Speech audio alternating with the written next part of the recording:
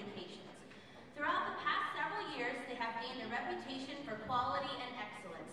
Under the direction of musical director Keith LeBar, please join me in welcoming High School North Chorale.